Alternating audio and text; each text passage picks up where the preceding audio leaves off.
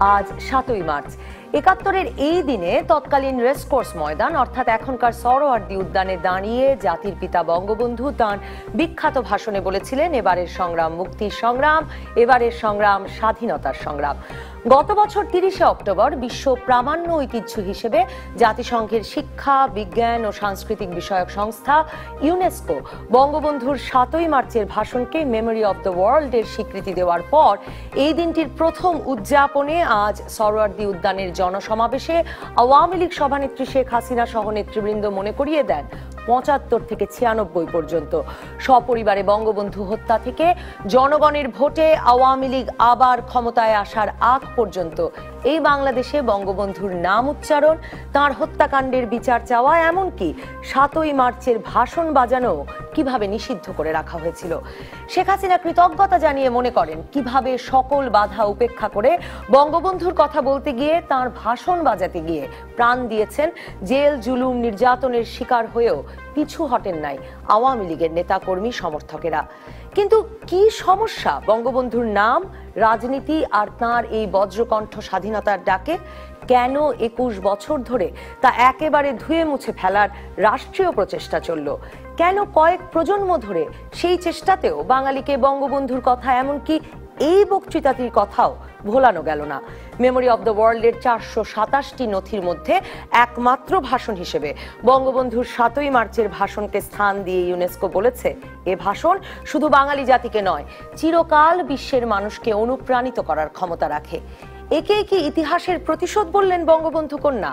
বাঙালির ইতিহাস কি লেখা সম্ভব? বঙ্গবন্ধু আর সাতই মার্চ বাদ দিয়ে এসব নিয়ে আলোচনায় আজ রাজকাহন স্টুডিওতে আছেন সাংবাদিক ও ভাষা সৈনিক কামাল লোহানি, মুক্তিযোদ্ধা ও সাবেক সেনা প্রধান অবসরপ্রাপ্ত লেফটেন্যান্ট জেনারেল হারুনুর রশিদ বীর প্রতীক ঢাকা বিশ্ববিদ্যালয়ের অধ্যাপক মোহাম্মদ আনোয়ার হোসেন। স্বাগত আপনাদের তিনজনকে। আমি কামাল লোহানি আপনাকে দিয়েই শুরু করি যে শুরুতে আমি আপনাদের স্মৃতি শুনব এরপর। সাতই মার্চের ভাষণকে ঘিরে সাতই মার্চের সেদিনে কি ঘটেছিল। কিন্তু আমি শুরু করতে চাই আলোচনাটা এই জায়গা থেকে যে, আমি যদি আমার কথাই বলি যে, ছিয়ানব্বই সালে আওয়ামী লীগ ক্ষমতায় এলো শপথ গ্রহণের পর, প্রধানমন্ত্রী শেখ হাসিনা শপথ গ্রহণের পর আমার মনে আছে যে, বিটিভিতে এই সাতই মার্চের ভাষণটি প্রচারিত হলো। সেই আমি প্রথম চোখে দেখলাম, সাতই মার্চের ভাষণ। আর নব্বইয়ের পর কিছু রেকর্ড পাওয়া যাওয়া শুরু হলো বাজারে। স্বাধীন বাংলা বেতার কেন্দ্রের গান আর বঙ্গবন্ধুর এই ভাষণ মিলিয়ে। এই আমি গলা শুনলাম। এর আগে পুরো আশির দশকে জন্ম বেড়ে ওঠার পর আমি কখনো সাতই মার্চের ভাষণ শুনিনি। কেন? বঙ্গবন্ধুর নাম, এই ভাষণ, এগুলোকে মুছে ফেলার এই চেষ্টা কেন? আমার মনে হয় এটা বোধ এতদিন পরে বলার প্রয়োজন নেই। সবাই বুঝতে পারেন কেন এই অপচেষ্টাটা হয়েছিল। আমরা জানি যে উনিশশো পঁচাত্তরের সপরিবারে বঙ্গবন্ধু হত্যার পর দেশে যে অন্ধকার নেমে এসেছিল, তাতে করে মুক্তিযুদ্ধের যে অর্জন এবং সফলতা নিয়ে আমরা গর্ব এবং গৌরব করতে পারি, অহংকার করতে পারি, সেই জায়গাটাকে ধূলিসাৎ করার জন্যে একটা চরম অপচেষ্টা চলেছে। তাদের কাছে বঙ্গবন্ধু নামটি এবং মুক্তিযুদ্ধই বোধ একটা ভয়াবহ জিনিস ছিল। এই কারণ একটা জিনিস তারা বুঝতে পেরেছিলেন যে বঙ্গবন্ধুর একটি ডাকে যদি একটি জাতি জাগ্রত হয়ে সমস্ত জীবনকে উৎসর্গ করে প্রাণপাত করে দেশ স্বাধীন করার লড়াইয়ে ঝাঁপিয়ে পড়তে পারে তাহলে সেই বঙ্গবন্ধুকে যে এই যে পরোক্ষে যে শক্তি মুক্তিযুদ্ধের বিরোধিতা করছিল তারা কি করে বঙ্গবন্ধুকে সহ্য করবে? সে কারণেই আমার মনে হয় যে এই জিনিসটি তারা সহ্য করতে পারেনি এবং সেই সঙ্গে তার বক্তব্য এই সাথে মারছে যে বক্তব্য এটি একটি অসাধারণ বক্তব্য যেটা একটু আগেই আপনি বলছিলেন এবং ইউনেস্কো যে কারণে আজকে মানে ওয়ার্ল্ড হেরিটেজ হিসেবে একে স্বীকৃতি দিয়েছেন। সেই কারণেও, কারণ একটা জিনিস মনে রাখার দরকার, আমরা যারা এই সাতই মার্চের ভাষণ শুনেছি সম্মুখে দাঁড়িয়ে, তারা জানি যে কি অসাধারণ মানে একটি কি বলব, যে উত্তাল তরঙ্গের মতো জনসমুদ্রে যে ঝঞ্ঝা বিক্ষুব্ধ একটা চেহারা ফুটে ওঠে। সেদিনকার জনসমুদ্রে ওই বীর বাঙালি অস্ত্র ধরো, বাংলাদেশ স্বাধীন করো, তোমার নেতা, আমার নেতা শেখ মুজিব শেখ মুজিব, এ ধরনের যে স্লোগানগুলো উঠছিল, তোমার ঠিকানা, আমার, তোমার আমার ঠিকানা, পদ্মা, মেঘনা, যমুনা, এ ধরনের স্লোগানগুলো শুনে তখন মানুষ তো সেটাই চিন্তা করছিল। যে এই যে লোকটি সেই লোকটি তো এই ডাক দিয়েছিলেন যে এবারের সংগ্রাম, আমাদের মুক্তির সংগ্রাম। এবারের সংগ্রাম স্বাধীনতার সংগ্রাম। এই অসাধারণ ডাকের পরে এই দেশের কোনো মানুষ তো ঘরে বসে থাকেনি। কারণ বঙ্গবন্ধুই বলে দিয়েছিলেন তার বক্তৃতার মধ্যে দিয়ে। যে ঘরে ঘরে দুর্গ করে তুলতে হবে। সত্যিকার অর্থেই মানুষ কিন্তু প্রস্তুত হয়েই ছিল আমি নিজেরা দুর্গ। জনসমুদ্রে আপনিও ছিলেন আমি এই গল্প শুনতেই চাই। আমি যখন আবার আসব শুনব যে কেমন ছিল সেদিনের পরিবেশ বঙ্গবন্ধুর প্রতিটি কথা তখন আসলে কি প্রভাব ফেলল? আহ, আমি লেফটেন্যান্ট জেনারেল হারুন রশিদ বীর প্রতীক আপনার কাছে জিজ্ঞেস করতে চাই। যদিও কামাল লোহালি শুরুতেই বললেন যে এই আর এতদিন পরে বলবার অর্থ কি? কিন্তু আমি যদি আমার জন্ম থেকে আমার কৈশোর মনে করি। আমি মানে পুরো স্কুল জীবনটা মনে করি। মানে কখনো বঙ্গবন্ধুর নাম নাই, কখনো বঙ্গবন্ধু আমাদের পাঠ্য বইয়ে নাই, বঙ্গবন্ধু টেলিভিশনে নাই, রেডিওতে নাই। এখন তো সবাই বলেন, সকলে মুক্তিযুদ্ধের পক্ষে, সকলে বঙ্গবন্ধু বলে বঙ্গবন্ধুর কথা বলেন। হলো কি মানে এটা কি রীতিমতো একটি রাজনৈতিক কৌশল? মানে ধন্যবাদ আপনাকে। উনিশশো পঁচাত্তরের পনেরো আগস্ট জাতির জনককে যে হত্যা করা হয়, এটা কিন্তু সামগ্রিকভাবে চিন্তা করতে গেলে দেখবে এটা একটি আদর্শের পতন ঘটানোর চেষ্টা। যে আদর্শের উপর ভিত্তি করে বাংলাদেশ রাষ্ট্রটা সৃষ্টি হয়েছিল সেই আদর্শকে হত্যা করার চেষ্টা। এবং বঙ্গবন্ধুকে হত্যা করে যে তা প্রতিষ্ঠিত করতে চেয়েছিল, সেটা হচ্ছে পরাজিত যে নীতি যে ধর্মভিত্তিক রাষ্ট্রের বিপরীতে আমরা একটা সংস্কৃত ব্যক্তি যে রাষ্ট্রটা প্রতিষ্ঠা করেছিলাম তাকে উল্টো দিকে ফেরত দেওয়া। এবং সেটা করতে গেলে যেই স্পিরিটের কথা বলে আমরা যে উত্তে- মানে উদ্দীপনার কথা বলে সেই উদ্দীপনাকে সমূলে উৎপাট করতে হবে। তো তৎকালীন যেটা প্রচেষ্টা ছিল সেটা হচ্ছে মুক্তিযুদ্ধের যে স্পৃহা মুক্তিযুদ্ধের যে আদর্শ মুক্তিযুদ্ধের যে আমি দুঃখিত। জি। অর্জন সবকিছুকে পিছনে ফেলে উই হ্যাভ আমাদেরকে আমাদের পূর্ববর্তী আদর্শে ফেরত যেতে হবে। কাজে স্বাভাবিকভাবে আপনি বুঝতে পারেন যেখানে তারা সমগ্র আমাদের যে আদর্শ সে আদর্শকে যখন কবর দিতে চেয়েছে তো সেখানে বঙ্গবন্ধুর ভাষণ বা বঙ্গবন্ধুর লক্ষ্য বা আমাদের মুক্তিযুদ্ধের কথা বলার কোনো সুযোগ নেই। উনিশশো ছিয়ানব্বই সালে জনগণের ভোটে মুক্তিযুদ্ধের নেতৃত্ব দানকারী সরকার যখন পুনরায় সরকার গঠন করল, তাদের তো প্রধান দায়িত্ব পড়ল যে মুক্তিযুদ্ধকে পুনঃ প্রতিষ্ঠা করা। তো মুক্তিযুদ্ধকে পুনঃ প্রতিষ্ঠা করতে গেলে তো আপনার মার্চ ছাড়া হবে না, সাতই মার্চ ছাড়া হবে না, বঙ্গবন্ধু ছাড়া হবে না। তো সেখান থেকে যে প্রচেষ্টাটা নেওয়া হয়েছে, এখন অন্তত এতটুকু বলা যায় যে বঙ্গবন্ধু আর বাংলাদেশ সমার্থক। একটা আরেকটা ছাড়া হবে না। বঙ্গবন্ধু ছাড়া বাংলাদেশ নাই আবার বাংলাদেশ বঙ্গবন্ধু ছাড়া নেই। অধ্যাপক মোহাম্মদ আনোয়ার হোসেন আহ, কিন্তু এই বাংলাদেশ একটা দীর্ঘ সময় বঙ্গবন্ধু ছাড়া পার করেছে। এবং আহ, আপনার কাছে আমি জানতে চাই যে তার মানে মানে সকল আমাদের রাজনীতির ভেতরে আহ, এই যে আমরা মুক্তিযুদ্ধের পক্ষ শক্তি বলি বিপক্ষ শক্তি বলি আহ, ধারা তো তাহলে দুটো আছেই। একদম পরিষ্কার ধারা। পরিষ্কার ধারা আছে। এবং দেখুন আমি হিসেব করছিলাম আর মাত্র তিন বছর পরে এই ভাষণটির অর্ধ শতাব্দী পূর্ণ হবে পঞ্চাশ বছর। কিন্তু এই ভাষণটির সেই মাহাত্ম বলুন শক্তি বলুন সেটা সেইখানে যেন মনে হয় যেন সেই দিন আমরা যেন সেই দিন সেই ভাষণ শুনলাম আমি সৌভাগ্যবানদের মধ্যে একজন। এবং এই বঙ্গবন্ধুকে হত্যার পরে যে এটা নির্বাসনে পাঠানো হলো তার সঙ্গে কিন্তু আমি যুক্ত করে দেখি এটা যে এই যে পাকিস্তানিরা পঁচিশে মার্চের যে গণহত্যা শুরু, শুরুর পর থেকে ষোলোই ডিসেম্বর পর্যন্ত যে আমাদের এই বাঙালি জাতিকে মেধাশূন্য করতে চাইলো, যে বিভিন্ন সময়ে তারা বুদ্ধিজীবীদের হত্যা করল, শুধু তো ঢাকা শহরে নয়, সারা বাংলাদেশ জুড়েই বুদ্ধিজীবী হত্যা হয়েছে। এবং এর সঙ্গে যুক্ত করে আমি দেখি এই ভাষণটাকে নির্বাসনে পাঠানো। কারণ আমরা মুক্তিযুদ্ধের মধ্যে, মধ্য দিয়ে কিন্তু পাকিস্তানিদের নির্ধারকভাবে পরাজিত করেছি। এবং তাদের যে পদলেহী যারা ছিল যারা তাদের অক্সিলারি ফোর্স ছিল সেই বদর বাহিনী রাজাকার বাহিনী মুজাহিদ তাদেরকে সহ এবং আমরা তাদের পরাজিত করেছি এবং তাদের আত্মসমর্পণ করেছে সরওয়ার্দী উদ্যানে এবং আমরা বাংলাদেশ পেয়েছি। কিন্তু বঙ্গবন্ধুকে হত্যা করে ওই শক্তি যারা যাদেরকে আমরা পরাজিত করেছি ওরা তো ক্ষমতায় চলে এলো। রাষ্ট্রকে ওরা নিজেদের কবজায় নিয়ে নিল। তারপর যে কাজটা তারা করেছে, যেটা পাকিস্তান করেছিল, পাকিস্তানি হানাদাররা করেছিল, বুদ্ধিজীবীদের হত্যা করে, যে এই ভাষণটির মর্মবাণী তারা বুঝেছে। কারণ এখানে লেফটেন্যান্ট জেনারেল হারুন রশিদ আছেন, বলবেন, কামাল লোহানিও বলবেন, তিনিও একজন মুক্তিযোদ্ধা। যে মুক্তিযুদ্ধের সময় কিন্তু দুটো স্লোগান, একটা হচ্ছে জয় বাংলা আর একটা জয় বঙ্গবন্ধু। এবং আমাদের যে স্বাধীন বাংলা বেতার কেন্দ্র ছিল, সেখানে সন্ধ্যার পরে পরেই কিন্তু যখন সেই বজ্রকণ্ঠ প্রতিদিন বজ্রকণ্ঠ।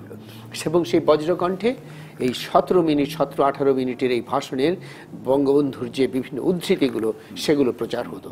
এবং সেগুলোই কিন্তু ছিল আমাদের সেই মুক্তিযোদ্ধাদের বলুন কিংবা অবরুদ্ধ মানুষদের বলুন সেগুলোই আমাদের সাহস যোগাতো এবং আমরা যুদ্ধে যেতাম সেগুলোকে ধারণ করে। সুতরাং এই ভাষণের যে শক্তি সেটা এই এরা হোসেন, আমি যদি একটু মানে আজকের সময়ের প্রসঙ্গেও যাই আমাদের দর্শকরা নানা কিছু লিখছেন প্রতিদিনের মতোই। যেমন রেজাউল করিম স্বপন স্বপন বলছেন যে আজ প্রাইভেট চ্যানেল ও টক শোর বদলতে কত লোকেই কথা বলছেন এই ভাষণ নিয়ে অথচ পঁচা- পঁচাত্তরের পর বিশেষ বিশেষ দিনে বিশেষ পাহারায় আমরা এটি প্রচার করতাম।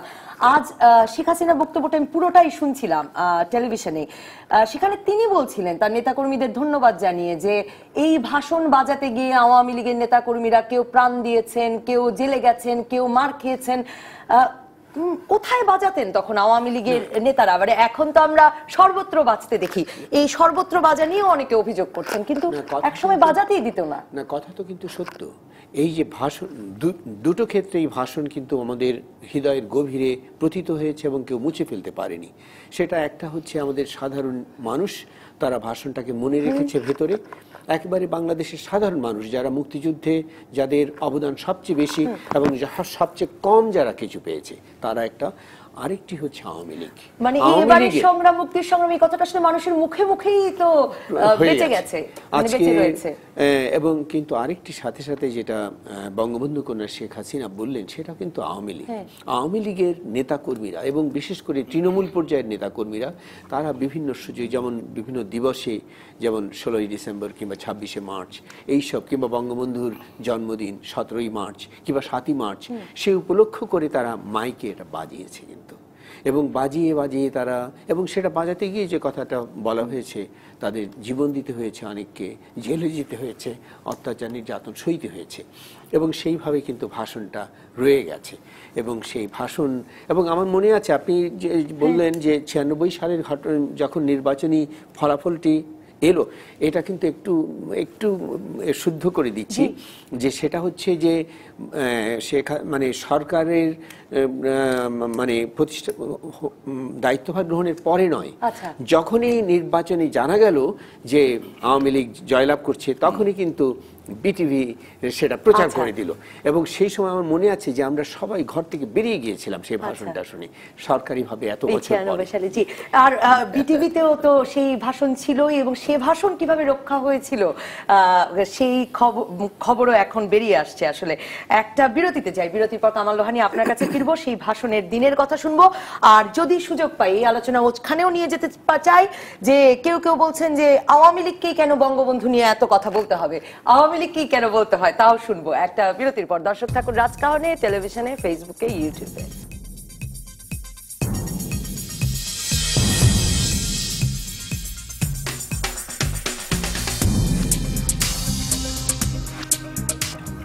ফিরে এলাম। রাজকাহানে কামাল লোহানি আমি আপনার কাছে আসছি। আমাদের কিছু দর্শকের মন্তব্য পড়তে চাই। বিশু আহমেদ বলছেন সাতই মার্চের ভাষণ সত্য ইতিহাস এবং শক্তিশালী উচ্চারণ। পঁচাত্তর থেকে উনিশশো ছিয়ানব্বই পর্যন্ত বাংলাদেশ পরাধীন ছিল কি? যাতে ওই শাসক গোষ্ঠী কি ভয় পেত? যেমন জাতির পিতাকে পাকিস্তানিরা ভয় পেত। আহ, আলভি জনি বলছেন বঙ্গবন্ধু মানে বাংলাদেশ বঙ্গবন্ধু মানে ইতিহাস। বঙ্গবন্ধু মানেই মানচিত্র লাল সবুজের পতাকায় বঙ্গবন্ধুকে দেখতে পাই। মীর গোলাম সাকলায়েন বলছেন বঙ্গবন্ধুর সেই ভাষণ, মুক্তিযুদ্ধে তার অবদান অস্বীকার করা, মুক্তিযুদ্ধের অস্বীকার স্বরূপ স্বাধীন বাংলাদেশের অস্বীকারের মতো। এই আর রেজাউল করিম স্বপন বলছেন, যারা লুকিয়ে রেখেছিল একটি প্রজন্মকে ভোলাতে চেয়েছিল, তারা যে একেবারে সফল হয়নি তা নয়, কারণ অনেককেই দেখি নানা রকম বিরূপ মন্তব্য করতে। আমি কামাল লোহানি আপনার কাছে জানতে চাই যে সেদিন মাঠে আপনি উপস্থিত ছিলেন, কি প্রত্যাশা নিয়ে গিয়েছিলেন, কি শুনলেন, কি দেখলেন? মনে পড়ে প্রতিটি মুহূর্ত। ধন্যবাদ। আমি এই জায়গাটা একটা কথা বলতে চাই, সেটা হলো যে তখন আমি পূর্ব পাকিস্তান সাংবাদিক ইউনিয়নের সাধারণ সম্পাদক ছিলাম এবং দেশি বিদেশি প্রচুর সাংবাদিকদের সঙ্গে তখন আমাদের মেলামেশা হচ্ছে এবং তাদের ক্রিয়া প্রতিক্রিয়াগুলো লক্ষ্য করার সৌভাগ্য আমাদের হয়েছে। এবং আমাদের যে সমস্ত সাংবাদিক বন্ধুরা ছিলেন রিপোর্টার ফটোগ্রাফার তারা সবাই মাঠে ময়দানে তখন ডেমোক্রেটিক যে কোনো মুভমেন্টের সঙ্গে যেমন যোগ দিয়েছেন তেমনি অসহযোগ আন্দোলনের সময় তারা রীতিমতো ময়দানে থেকে বলতে গেলে আপনি বলতে পারেন যে যুদ্ধ মানে যোদ্ধাই ছিলেন তারা। হ্যাঁ। সেই অবস্থায় থেকেছেন।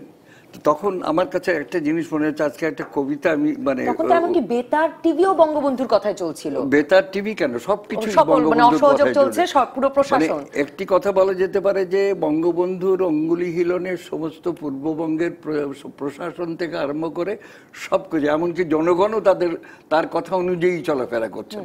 এরকম একটি অবস্থার মধ্যে। আজকে এইখানেই আমার একটা কথা মনে পড়ছে আপনি যেহেতু বললেন যে রেসকোর্স ময়দানে থাকার কথা। আমরা ছিলাম, আমি আতাউসামাদ মহাকবি মহাদেব সাহা, আমাদের একজন সিনিয়র রিপোর্টার ইয়ে সলিমুল্লাহ, আমরা চারজন প্রেস ক্লাব থেকে হেঁটে মঞ্চের কাছে গেলাম। এবং যাবার সময় যে জিনিসগুলো দেখতে দেখতে গেলাম, যে খণ্ড খণ্ড মিছিল, যে খণ্ড মিছিল বললে পনেরো বিশ জন, পঞ্চাশ জনের মিছিল মনে হয়। কিন্তু সেদিনের খণ্ড মিছিল বোধ হাজারে হাজার মানুষের খণ্ড মিছিল ছিল। এবং রেসকোর্স ময়দানের চতুর্দিক দিয়ে যে জায়গাগুলো ছিল, প্রত্যেকটি মুখ দিয়ে অসংখ্য খণ্ড মিছিল এসে ওই রেসকোর্স ময়দানে জমায়েত হয়েছিল এবং সেই দিনের এই জমায়েতে জনসমুদ্রে পরিণত হয়েছিল যাকে আমরা দশ লক্ষ বলি। এটা আমি মনে করি যে তা সেই দশ লক্ষ বা পাঁচ লক্ষ এটা নিয়ে বিচার করার কিছু নেই। অসাধারণ এক বিশাল জনসমুদ্র সেই জনসমুদ্রে মানে উত্তাল তরঙ্গ উঠছে, বীর বাঙালি অস্ত্র ধরো, বাংলাদেশ স্বাধীন করো। আর ওই বঙ্গবন্ধু যখন আসছে, সমস্ত করতালিতে মুখরিত হয়ে উঠছে, স্লোগান দিচ্ছে, তোমার নেতা, আমার নেতা, শেখ মুজিব শেখ মুজিব। আমার কাছে একটি জিনিস মনে হয়েছিল, আজকে এই কথাটা আমি বলি, একজন কবি বলছেন, কোন কবি এলো সেই দেশে বলো, কোন পাখি দিল গান, কোন কবি এসে ভীরু জড়তাকে দুই হাতে দিল টান। অসাধারণ একটি জিনিস যখন তিনি মঞ্চে উঠে দাঁড়িয়ে দুটো হাত তুলে সমস্ত জনগণকে তার অভিবাদন জানালেন এবং তার প্রত্যুত্তরে জনগণ যখন করতালি মুখর করে তুললেন সমস্ত গগন বিদারী আওয়াজে, তখন তো মনে হলো যে আমরা কি দৃশ্যটা দেখতে পাচ্ছি। তখন বুঝতে পারলাম যে বঙ্গবন্ধু আমাদেরকে কি দিতে যাচ্ছেন। সেজন্যই বোধহয় তার ওই যে উনিশ মিনিটের বক্তব্য আঠারো মিনিট বত্রিশ সেকেন্ড বলেন কেউ হিসেব করে। তো সেইটা দিয়ে ধরেই বলি যে উনিশ মিনিটের বক্তব্যের মধ্যে শেষে এসে তিনি বলছেন এবারের সংগ্রাম আমাদের মুক্তির সংগ্রাম এবারের সংগ্রাম স্বাধীনতার সংগ্রাম। প্রত্যাশা ছিল বঙ্গবন্ধু হয়তো এই দিন স্বাধীনতা ঘোষণা করবেন কিন্তু স্বাধীনতা ঘোষণা করেননি। তার কারণ তখনও আমাদের ওই ভূগোলটা ছিল পাকিস্তান। তার মধ্যে থেকে ডেমোক্রেটিক একটি মুভমেন্টের আচরণের ইয়েতে যদি আমরা ধরি, তাহলে বঙ্গবন্ধুর ওই ঘটনা ঘোষণাটি ছিল অসাধারণ রাজনৈতিক ইয়ে ঘোষণা। ব্যালেন্সড একটা ঘোষণা, যার কারণে জনগণ কিন্তু ওই দিন থেকেই ধরে নিয়েছে যে আমাদের স্বাধীনতার যুদ্ধ শুরু হয়ে গেল আজকে থেকে লেফটেন্যান্ট জেনারেল রশিদ আপনি কোথায় ছিলেন? আপনাকে কীভাবে সেই ভাষণ প্রভাবিত করল সেটা যদি বলেন, কারণ কামাল লোহানি যেটা বলছিলেন যে একদিকে বঙ্গবন্ধু শেষ করলেন এবারের সংগ্রাম স্বাধীনতার সংগ্রাম বলে। কিন্তু বঙ্গবন্ধু কিন্তু বললেন তখনও নির্বাচিত জনপ্রতিনিধির মানে তার হাতে আহ, ক্ষমতা তুলে দিতে যে সকল হত্যাকাণ্ড হয়েছে তার বিচার করতে মানে তিনি সকল নিয়ম মেনে বক্তৃতা দিয়ে গেলেন। কিন্তু আবার এও বললেন যে আমি যদি হুকুম দিবার নাও পারি তাহলেও যার যা কিছু আছে তাই নিয়ে শত্রুর মোকাবেলা করতে হবে। সেই ইঙ্গিতটা পুরো ওই সেদিন জড়ো হওয়া আহ, বাঙালি পেয়েছিল কিনা বা যারা মাঠের বাইরে ছিল তাদের কাছে পৌঁছেছিল কিনা? আমার মনে হয় ঢাকা রেস কোর্সের মাঠে দশ লক্ষ এগারো লক্ষ যাই হোক না কেন ওই ভাষণ সমগ্র জাতি যে যেখানে থাক না কেন সেখান থেকে শুনেছে। আমরা যারা সেনাবাহিনীতে ছিলাম আমরাও তো সত্তরের নির্বাচনে প্রত্যাশা করেছি যে এবার আওয়ামী লীগ ক্ষমতায় আসবে। কিন্তু আমাদের সহকর্মীরা যারা যখন বলা শুরু করল আমরা বাঙালিদেরকে পাকিস্তানের ক্ষমতা দিয়ে বিশ্বাস করি না।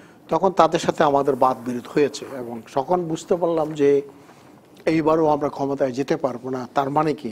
আমরা তাদেরকে জিজ্ঞাসা করতাম এই নির্বাচন তোমরা দিয়েছ? তারপরে যে পিআরও দিয়েছ সেটা তোমরা দিয়েছ। তোমরা নির্বাচন কন্ডাক্ট করেছ তোমরা নির্বাচনের ফলাফল দিয়েছ। আমরা শুধু অংশ নিয়েছি জিতে হ্যাঁ এসেছি। জিতেছি। এখন তোমরাই নির্বাচন দিয়ে নির্বাচনের ফ্রেমওয়ার্ক দিয়ে, সেই ফ্রেমওয়ার্কের মধ্যে সেনাবাহিনী করেছ, তার মানে কি বাঙালি কোনোদিনই ক্ষমতায় যেতে পারবে না।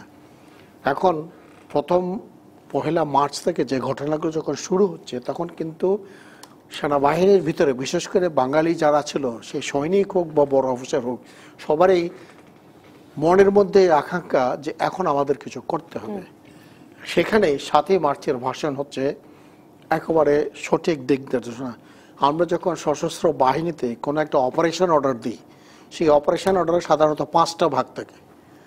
প্রথম ভাগে বলে এটাকে আমরা যেটা বলি অবস্থা সিচুয়েশনটা কি? দ্বিতীয় ভাগে আমরা বলি মিশনটা কি? তৃতীয় ভাগে আমরা বলি এক্সিকিউশনটা কীভাবে হবে? চতুর্থ ভাগে আমরা বলি লজিস্টিক্সটা কি হবে? পঞ্চম ভাগে বলে আমরা কমিউনিকেশনটা কি হবে? যোগাযোগটা কি হবে? আপনি যদি এই ভেষণটাকে মিলিটারি অ্যানালাইসিস দিয়ে দেখেন প্রথমে বঙ্গবন্ধু শুরু থেকে এমন ভাবে তেইশ বছরের ইতিহাস বলেছে হ্যাঁ,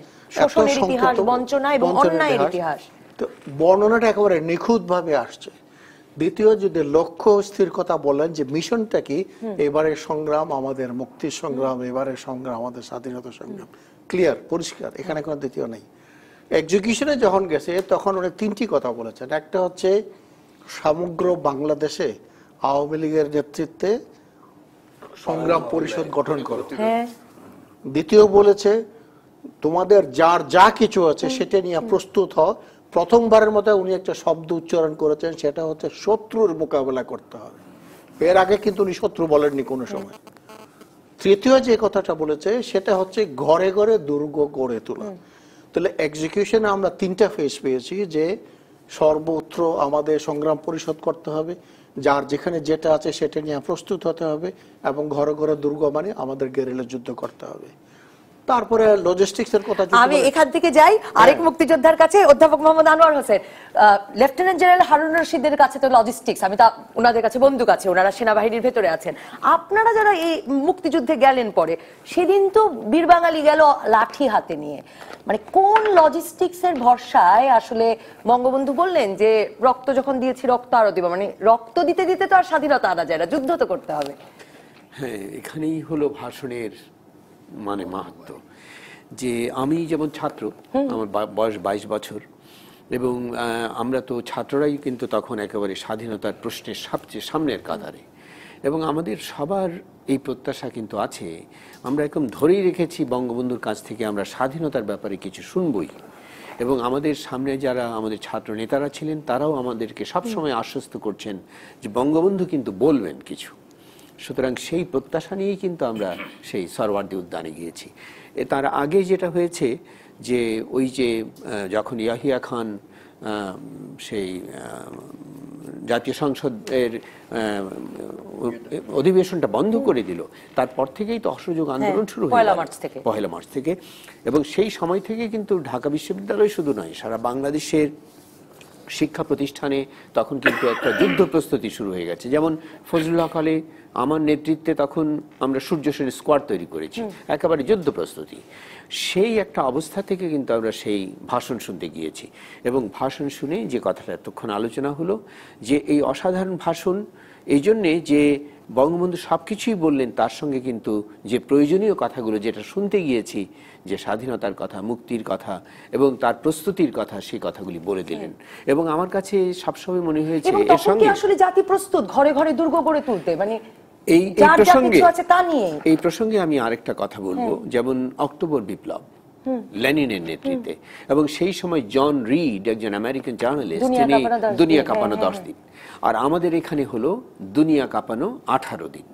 ওই পঁচিশে মার্চের পূর্ব পর্যন্ত এই যে সময় আঠারো দিন সেই আঠারো দিনে একটা নিরস্ত্র জাতি তারা কিন্তু মানসিকভাবে মানে সাত তারিখ থেকে পঁচিশ তারিখ সাত তারিখ থেকে পঁচিশ তারিখে তারা তৈরি হয়ে গেছে।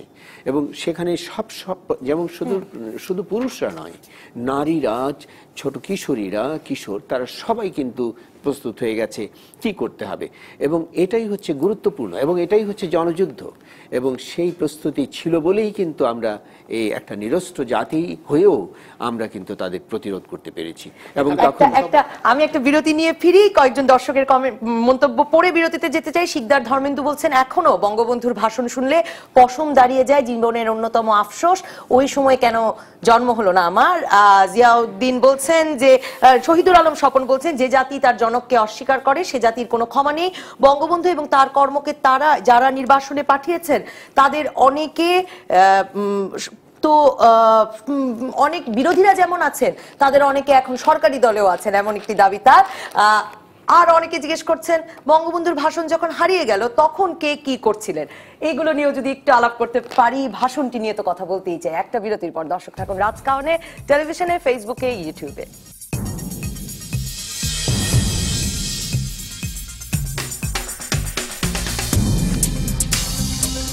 ফিরে এলাম রাজকাহনে কামাল লোহানি আপনার কাছে যাব। কয়েকজন দর্শকের মন্তব্য পড়তে চাই। সাব্বিরা নাম বলছেন, এ ভাষণের পরেও বঙ্গবন্ধু বহুদিন ইহা ইহার সাথে পূর্ব পাকিস্তানের ক্ষমতা পাবার জন্য আলোচনা করে যান। আসম রব বলেছেন এটা তো উনি তো আলোচনা চালিয়ে যাচ্ছে, এটা সত্য। কোনো সন্দেহ নেই, এটি অসাধারণ ভাষণ, তবে এতে দেওয়া চার দফা কি আসলেই স্বাধীনতা বা বাংলাদেশ গড়ার জন্য ছিল, নাকি ছিল পূর্ব পাকিস্তানের স্বাধীনতার জন্য? রনি শিকদার জানতে চাইছেন না মাসিউল হাসানের প্রশ্নটি পড়ি। ভাষণটি মুক্তিযুদ্ধকালে যোদ্ধাদের কতটা অনুপ্রাণিত করত এবং ওই সময় প্রচার হতো কিনা জানতে চাই। আর রনি শিকদার বলছেন, বঙ্গবন্ধু কেন শুধু আওয়ামী লীগের, কেন সবার নয়, যেহেতু মুক্তিযুদ্ধ সবার, দেশ সবার। আসলে যে একটু আগে রনি শিকদারের আগে যে কথাটা বললেন যে পূর্ব পাকিস্তানের স্বাধীনতার জন্য কিনা? সাব্বির আনাম আর মাসিউল হাসান বলেছেন মুক্তিযোদ্ধাদের কতটা অনুপ্রাণিত করেছিল এই কতটা অনুপ্রাণিত করেছে? আমি আপনাকে একটা কথা বলি আমি তো স্বাধীন বাংলা বেতারের সঙ্গে ছিলাম। স্বাধীন বাংলা বেতারে আপনি কিছুক্ষণ আগেও উচ্চারণ করছিলেন যে আমরা বঙ্গবন্ধুর ভাষণ যেটা আনোয়ার ভাই একটু আগে বলছিলেন তার বক্তব্যে যে বঙ্গবন্ধুর যে ভাষণ, সেই ভাষণের এক্সট্রাক্ট নিয়ে বজ্রকণ্ঠ বলে একটি চাঙ্ক তৈরি করেছিলাম। এবং সেখানে যে বক্তব্যগুলো দেয়া হতো, সেই বক্তব্যগুলো আমি মাঠে থেকে যে জিনিসটি অনুভূত আমার কাছে হয়েছিল এবং আমি বলব যে তখন আমাদের সমস্ত শরীরের লোক দাঁড়িয়ে যেত শিওরে উঠত সমস্ত শরীর। সেই শব্দগুলো যখন রেডিও, স্বাধীন বাংলা বেতার থেকে প্রচার হতো, আমি মনে করি অবরু- অবরুদ্ধ বাংলাদেশে যারা মৃত্যু আশঙ্কায় এবং পাকিস্তানি সেনাবাহিনীর যে কোনো আক্রমণের মোকাবেলায় তারা দৃঢ় মনোবল নিয়ে বেঁচে থাকার লড়াই করছেন সেই সময় ওই শব্দগুলো যখন তাদের কানে গিয়ে পৌঁছতো লেপের তলায় লুকিয়ে যখন স্বাধীন বাংলা বেতার শুনতো মানে আমার মনে হয় একটা অসাধারণ। অবশ্যই ও, লাইনকে লাইন আমরা প্রচার করতাম এবং সে কারণেই এগুলো মানে তখন অসম্ভবভাবে অনুপ্রাণিত করতো সমস্ত মানুষকে। এবং এই যে মুক্তিযুদ্ধের যে জয় কোথায় কদ্দূর এগিয়ে যাচ্ছে এগুলো স্বাধীন বাংলা বেতার শুনে তারা অনুপ্রাণিত হতো এবং তার মধ্যেই বঙ্গবন্ধুর এটি প্রত্যেক অধিবেশনে একবার নয়, একাধিকবার বাজানো হতো। কারণ এই শব্দগুলো শুনলে মানুষ যেন অনুপ্রাণিত হয়, মনে বলটা রাখতে পারে এবং তারা কখনো যেন ওই পাকিস্তানি সৈন্যের কাছে পরাজয় বরণ করার মানসিকতায় যেন ডুবে না যায়। মুক্তিযোদ্ধারা কতটুকু অনুপ্রাণিত হতো? এখানে আমার এক্সাম্পল হচ্ছে, আমরা যারা মুক্তিযোদ্ধা ক্যাম্পে থাকতাম আমরা যখন কোনো অপারেশনের জন্য বাংলাদেশে ঢুকতাম আমাদের তিনটে জিনিস করতে হতো। একটা হচ্ছে বঙ্গবন্ধুর ভাষণ শোনা। দ্বিতীয় যেটা সেটা হচ্ছে আমরা যদিও তখনও বাংলাদেশের কি বলে জাতীয় সংগীত ডিক্লেয়ার হয়নি তারপরেও আমার সোনার বাংলা আমি তোমায় ভালোবাসি এই গানটা আমরা গেতাম। কি বলে জাতীয় সংগীত হিসাবে যদিও তখন সরকারি ভাবে। কারণ সেটা তো সরকারি আবার যে তেসরা মার্চে ঠিক হয়ে গিয়েছিল বোধহয় যে আমরা মানে সরকারি ভাবে তখন এটা এভাবে ডিক্লেয়ার করি। এবং তৃতীয় যেটা হচ্ছে আমরা যখন যাত্রা শুরু করতাম তখন একটাই স্লোগান ছিল জয় বাংলা জয় বঙ্গবন্ধু। তো কাজে কেউ যদি বলে যে কতটুকু অনুপ্রাণিত হতো এই বঙ্গবন্ধুর ভাষণ না শুনে কেউ ক্যাম্প ছাড়েনি। আমার সোনার বাংলা গান না কেউ ক্যাম্প ছাড়েনি এবং জয় বাংলা জয় বঙ্গবন্ধু ছাড়া আমরা ক্যাম্প ছাড়েনি। তো এটা মুক্তিযুদ্ধের যোদ্ধাদের জন্য সবচেয়ে অনুপ্রাণিত ভাষণ। আর কোনো ভাষণ উল্লেখ করেছেন যে এমনকি অবরুদ্ধ মানুষের জন্য কারণ প্রতিটা ঘর তো তখন দুর্গ। মোহাম্মদ আনোয়ার হোসেন আপনাকে আমি ওই প্রশ্নটির আমার ধারণা যে অতিথিরা আগে কামাল লোহানী এবং লেফটেন্যান্ট জেনারেল হারুনুর রশিদ আগেই বলেছিলেন যে কেন বঙ্গবন্ধু সেদিন প্রত্যাশা অনুযায়ী স্বাধীনতা ঘোষণা করে ফেললেন না? কিন্তু এই বিতর্কটি বারবার ঘুরে ফিরে আসে। আমাদের দর্শক যে প্রশ্ন তুলেছেন যে তিনি পূর্ব পাকিস্তানের স্বাধীনতা চেয়েছিলেন না বাংলাদেশের? আর মোহাম্মদ আব্দুল শহীদ আপনাদের জিজ্ঞেস করছেন যে আজকের অতিথিদের কাছে আমার প্রশ্ন, সাতই মার্চে বঙ্গবন্ধু যে বক্তব্য দিয়েছে ওনারা তো তখন সেখানে উপস্থিত ছিলেন। কিন্তু বর্তমান নতুন প্রজন্মের কাছে ওনারা কি সেটা পৌঁছে দিতে পেরেছেন? যদি পৌঁছে দিয়ে থাকেন, তাহলে আজকে এত দেশে স্বাধীনতা বিরোধী কীভাবে আসলো? আজকে যারা বঙ্গবন্ধুর বিরোধিতা করে, তারাই বা কোথা থেকে আসলো? দুটো দুটো কথা বলব। সঙ্গে। প্রথম কথাটা হচ্ছে যে এই যে বঙ্গবন্ধুর ভাষণকে নির্বাসনে পাঠানো হলো বিশ বছরের দুই যুগের বেশি সময় ধরে তারপরও এই ভাষণটা এত শক্তি নিয়ে আবার এটার পুনরুত্থান কি করে হয়? সেটার উত্তর কিন্তু ইতিমধ্যে এই আলোচনার মধ্যে দিয়ে পেয়ে যাওয়ার কথা। এই জন্যে যে এই যে মুক্তিযুদ্ধ মুক্তিযুদ্ধের নয় মাস কিন্তু কি আমি তো বলব এটা হাজার বছরের সমান নয় মাস। এই নয় মাস কিন্তু মানুষ অবরুদ্ধ মানুষ, মুক্তিযোদ্ধারা, তারা এই ভাষণটি শুনেছে, প্রত্যেকটা লাইন শুনেছে। তাদের একেবারে হৃদয়ের গভীরে প্রতীত হয়ে গেছে। সেই জন্য এটা মুছে ফেলা সম্ভব না যে এটাকে আমি নির্বাসনে পাঠালাম কিংবা আমার মিডিয়াতে প্রচার করলাম না, সেটাতে। সেই, সেটা হচ্ছে সেই কথা। আরেকটা কথা যারা এগুলো কথা এখনও বলে, ওই বিতর্ক ওঠায় যে বঙ্গবন্ধুর এই ভাষণের মধ্যে পূর্ব পাকিস্তান কিংবা ইয়াইয়া খানের সাথে তার আলোচনা, এগুলো যারা তোলে, তারা হচ্ছে সেই শক্তি যারা এই মুক্তিযুদ্ধ সময়কালীন সময়ে পাকিস্তানিদের সহযোগী ছিল। আসলে এ কথাটা মনে রাখতে হবে। আমরা যে মুক্তিযুদ্ধ করেছি আমরা বলি বটে যে সাড়ে সাত কোটি মানুষ আমরা ঐক্যবদ্ধ। এটা আমরা বলি। কিন্তু এই সাড়ে সাত কোটি মানুষের মধ্যে কিন্তু বেশ কিছু মানুষ ছিল যারা পাকিস্তানিদের পক্ষ অবলম্বন করেছে। ওরা কারা? ওরা হচ্ছে সেই ধর্মাশ্রিত রাজনৈতিক দলের অনুসারী। সেই মুসলিম লীগ বলুন, জামায়াতে ইসলাম কিংবা নিজামে ইসলাম, এই যে যারা ধর্ম নিয়ে, যারা পাকিস্তান পাকিস্তান তো তৈরি হয়েছে ধর্মের ভিত্তিতে সেই রাজনীতিতে যারা বিশ্বাসী, তারা কিন্তু মুক্তিযুদ্ধের বিরোধিতা করেছে। শুধু নয়, পাকিস্তানিদের হয়ে তারা অক্সিলারি ফোর্স তৈরি করেছে এবং আমাদের আমাদের মেরেছে, নারীদের ধর্ষণ করেছে, পাকিস্তানিদের হাতে উঠিয়ে দিয়েছে। এরা হচ্ছে, এখন যে যাদের দেখবেন, যারা এই প্রশ্নগুলি ওঠায়, ওরা হচ্ছে সেই শক্তির অনুসারী। সুতরাং সেই প্রশ্নগুলি তারা খুব সচেতনভাবেই বলে এবং এটা নিয়ে বিভ্রান্ত করতে চায় মানুষজনকে। আম, লেফটেন্যান্ট জেনারেল হারুন রশিদ আমাদের দর্শক শাহ আলম বলছেন বঙ্গবন্ধুর ভাষণ শুনে যার অনুভূতি সারা দেয় না তাকে আমি আসলে পঞ্চ ইন্দ্রিয়ের মানুষ বলেই ভাবতে পারি না সাকিবুর রহমান মিলন বলছেন বিএনপি কেন আওয়ামী লীগের মতো করে আজকের দিনটাকে উদযাপন করল না বাংলাদেশ সৃষ্টিতে? নানা গুরুত্বপূর্ণ জাতীয় দিবসে আমরা সকল রাজনৈতিক দল- দলের সাড়া পাই না কেন?